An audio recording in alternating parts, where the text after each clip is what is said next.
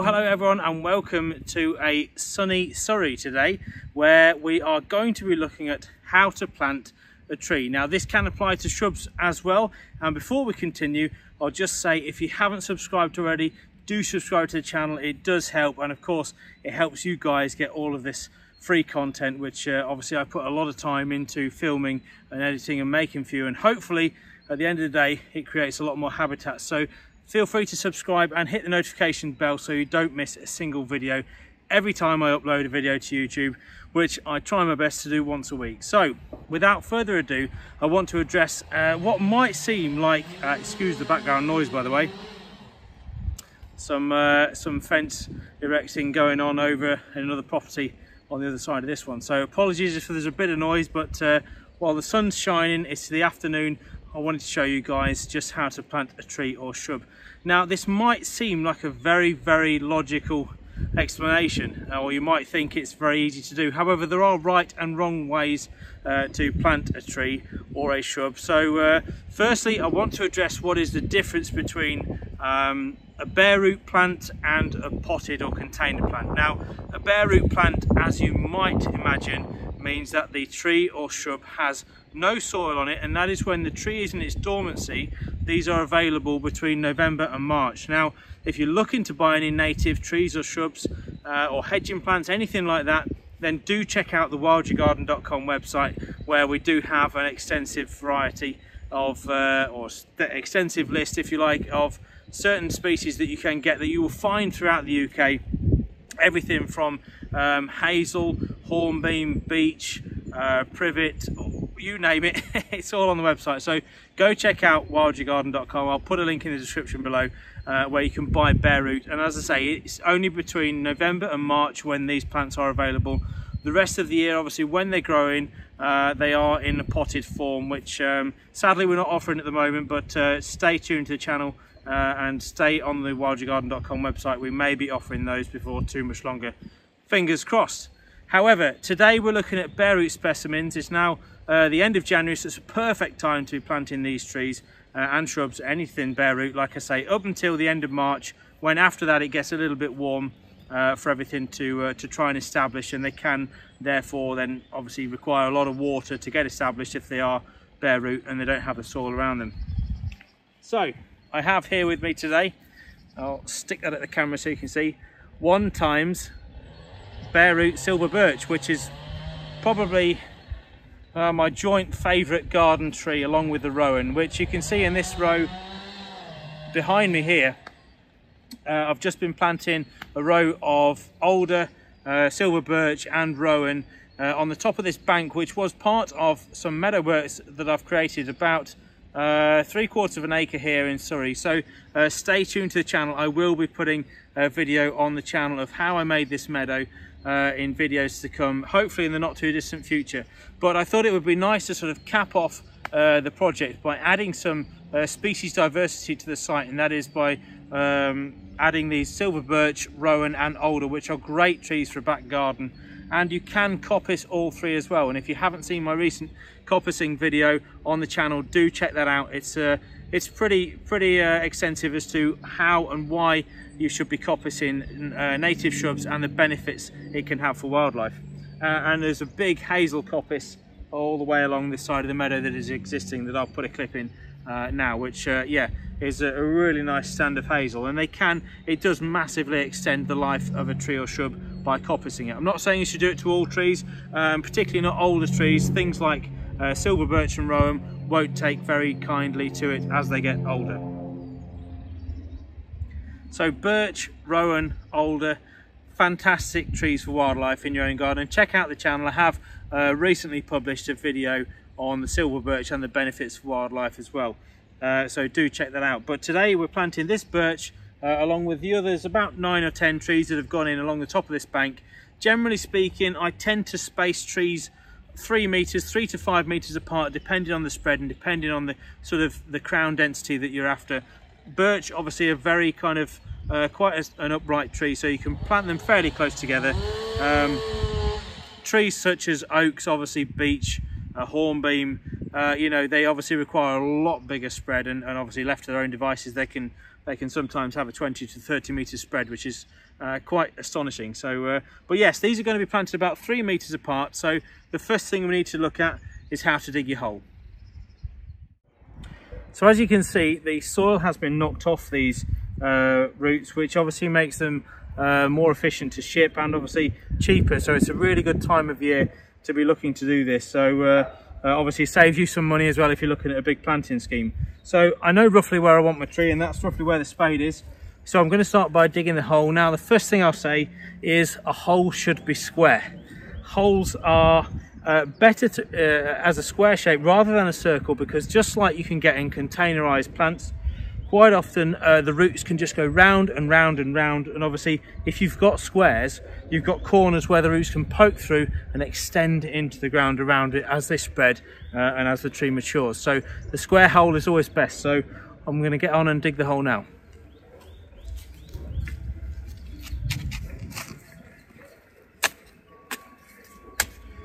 So start by marking your hole. Better to be bigger than you need.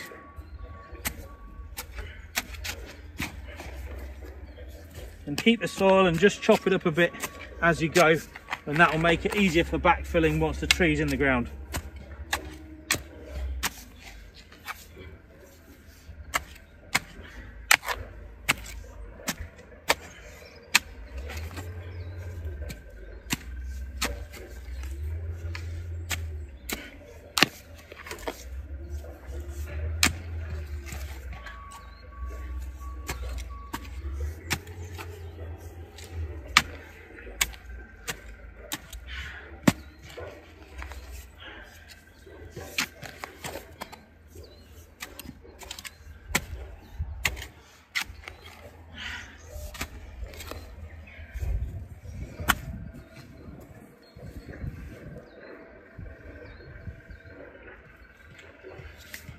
So that's the hole dug to where I think it will be deep enough. So the next best thing is to check with the tree to see if it is.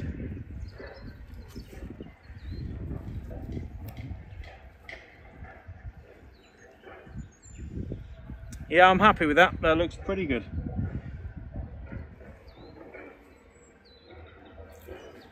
So the next thing I'll say is it's important to actually chop up the bottom of the hole before you put your tree in because that just loosens the soil. If you've got roots going on top of really hard baked soil, uh, clay or stony ground, obviously they're going to struggle to really penetrate through uh, to get their roots down. So by chopping up the bottom, it just gives them a head start and enables the roots to develop uh, into the ground rather than stay flat and go horizontally, which of course can, can cause problems if the tree gets bigger um, as it may not be anchored as well into the ground. So I'm going to chop the bottom up now.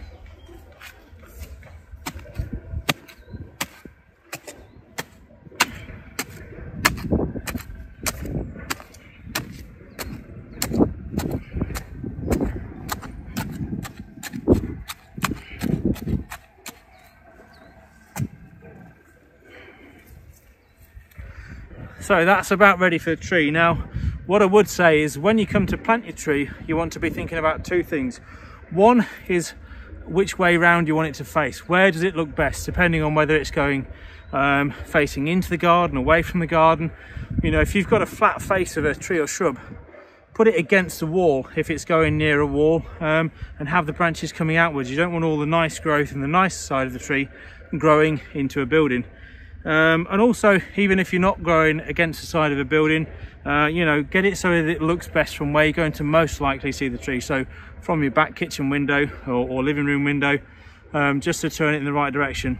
Now, one or two of the trees behind me were actually a little bit bent, but you'll find obviously when they are very young, uh, and I prefer to plant trees when they are younger because they have more vigor and they can take to um, any soil type, pretty much a lot of the native trees, better than obviously um, older trees which have been so used to being growing uh, in a pot and being nourished and that you know you can put them in some rubbish ground and they sort of go you know what the hell is this? I'm not growing in that. And actually i've done many tests over the years and i've found that that trees that have gone in even as two foot whips but particularly three to four five foot even six foot specimens um, have actually outcompeted and outgrown 15, 16, 18 foot trees when they've been planted because they just kind of sit there and sulk for a few years.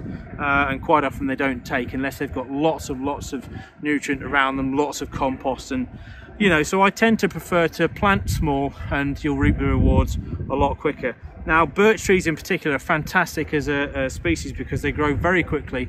Um, one of the quickest growing trees to establish in your garden. And you can expect these to get to 20 foot from about four or five foot within four or five growing seasons. So you're not waiting 10 to 15 or even 20 years for something like an oak tree. So a very, very good tree for establishing in your garden. Uh, so not only the kind of orientation of the tree, so which way you want it to face, but also the height. This is probably the most critical point. The height in which the tree goes back into the ground. Now, what I tend to find is that wherever the tree has, has been grown, whatever uh, plant medium it's been in, you will always see a kind of a natural darker level on the tree itself. So uh, you can see here, uh, it's kind of around about here. Now, what you don't want is obviously think something going in the ground that high and having you know, roots and everything poking out the top. That's not going to be any good for the tree. It's not the level it's been used to being grown at. So make sure all the roots are covered in the ground and it is kind of where it is. Also, if you go too deep, you know, and the soil level comes up here, for example, um, it can actually kind of rot the bottom of the tree as well. So uh, it's best to go in exactly where the tree has been used to being grown. So, so get in your hole, make sure you've got enough space for the roots, which this one has, and that your top of your tree is uh, not higher than the highest point of your ground. So I just want that to turn the other way actually. There we go. Well, that's nice. Now all the machines have stopped. There's a house being built over the way and uh, some fencing going up over there. So yeah, apologies for the noise guys, but um, hopefully you can hear me all right. Certainly now anyway. So then when you've got your tree, uh, you can actually do this with your foot. Just kind of kick the soil back in I mean, just before this point, you can add some compost if the ground is really, really naff, if it's really clayey. Obviously, you know, the more nutritional value you can give the tree in its establishment, the quicker it's going to establish. I'm not worried about it here because it's a lovely kind of sandy loam that I'm planting into. And actually, I'm on a bank that I've created from all the meadow work. So there's about, well, 18 inches of turf and then a good foot of uh, topsoil on top. So yeah, this tree couldn't be going into a better piece of ground. So it doesn't need any compost, but you can add, of course, add compost. But please, please, please use peat-free compost if you can. Our peat bogs are vanishing at an alarming rate, which is um, a detriment to all our dragonflies, damselflies, many, many species. So peat bog habitat um, is declining. So we really need to use peat-free compost. So please, if you're going to use some, do use that. Um, so yes, so you can add it at that point, just underneath and around the, the um, uh, tree as you, as you go putting the soil back in, but also you can mix it in with the soil before you put it back in the hole as well. So I'm going to carry on with my spade now and just pull the soil back in.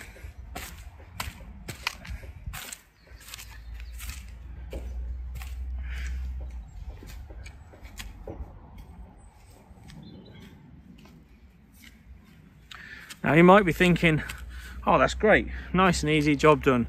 We're not quite finished yet.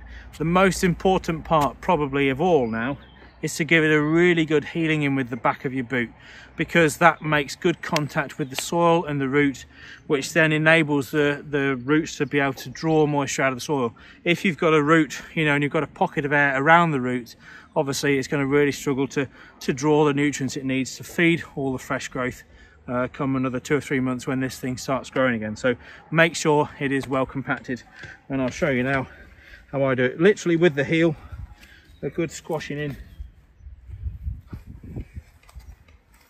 So you know there's good compaction. At this point as well, you can kind of tease the tree to, you know, if the tree is leaning one way or another, uh, you can move the tree, push down one side to straighten it. You know, and at this point you can stand back, have a look, want to lean in that way a little bit. There we go, I'm happy with that. And then just get a bit of loose soil back on top. What you don't want is too much of a depression, so you're going to have lots of water sat uh, on top of the roots through the winter because that can, of course, not be a great benefit to a lot of trees. Things like alder, they're fine because they love it wet, but other species prefer it just to be moist but not saturated. Okay, trees in the ground and honestly I can't think of a better feeling than knowing that you're planting a tree it's just a wonderful wonderful feeling. Uh, the same with plants actually anything to be honest. Uh, particularly if it's plants around a, a, pond. Obviously I do a lot of wildlife ponds. Um, but trees shrubs there's something very very very satisfying um, knowing that you are planting something that's going to give back oxygen into the world. Really great feeling. So uh, now we just need to make sure because it's a slightly exposed site the, the tree isn't going to rock around too much. Because too much of that in the time in time can obviously open up a gap at the base of the tree. And I've seen many trees in my uh, landscaping and uh, tree career where there are big gaps around the base of the trees which has caused their death early on because uh, obviously in the winter it's what's known as windrock. Um, you know you you make a cavity around the trunk frost can get in and get to the roots and it's just it can be um, very bad for the tree. So make sure you are staked and tied. If you're in a back garden setting a lot of the time trees this size this one's probably about four, four and a half foot. You don't need to worry about a stake there if they're fairly sheltered, but this is quite an open site. So uh, I'm gonna put a stake in now. So um, I'll show you how we do that.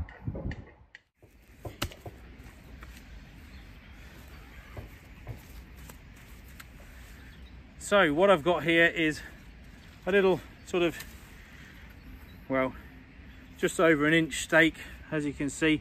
Um, around about three or four foot long. Now when you're staking any tree, you don't really want it to come above uh, sort of a third to a half of the tree, just because then the tree becomes too dependent on the stake.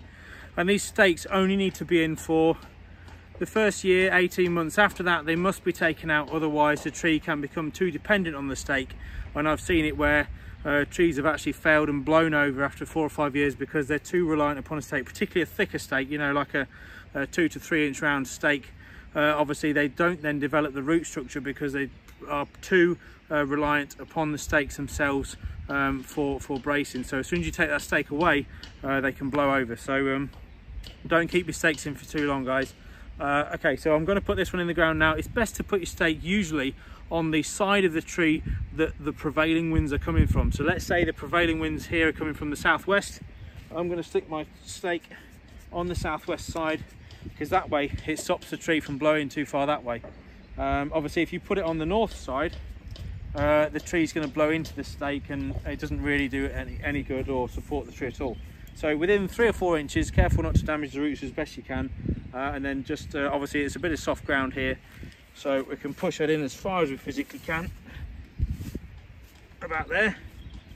And then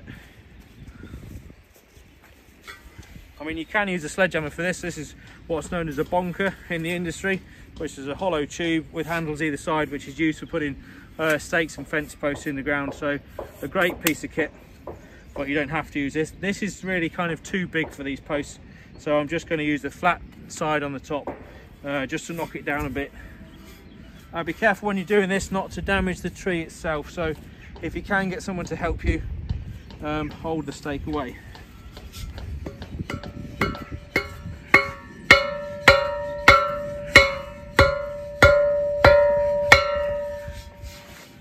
After a few knocks just check that your stake isn't going in at a real angle one way or another just to make sure it's nice and plumb which that about is. And then I'm just going to gently put my foot in there so I don't hit the stake. Hit the tree sorry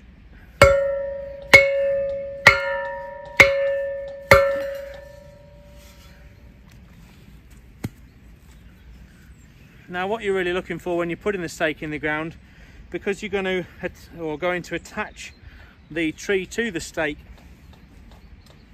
you want a little tie, which is, I'll show you, try not to fall down the bank, uh, just a little tie, tree tie, you can get these from your garden centre, uh, and they just kind of go in one end and then go through and then back on themselves so they, uh, yeah, stay nice and nice and tight but you want to branch lower down that you can actually wrap the tie around so that the tie doesn't then just slide down the pole and drop to the bottom of the, bottom of the tree.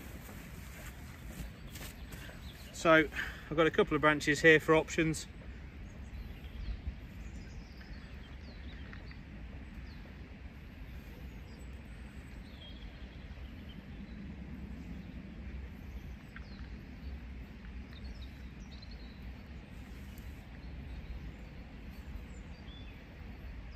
So I've just threaded that back through on itself. And as you can see, it just stops the tree from blowing too far that way. And there you have it. That is one times tree planted. Whoop. um, one times tree. Up to the top of the bank, I think. Planted, and what a great feeling that is. So I really hope this video has inspired you guys to get out there, get planting some trees. By all means, if you don't have the room, you can still make pots for pollinators uh, and check out on the video from last year. Um, I did a, a, video on how to plant a pot for pollinators.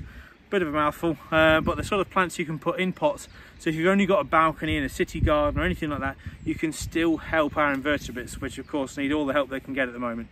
So I really hope you've enjoyed the video guys. Please subscribe to the channel.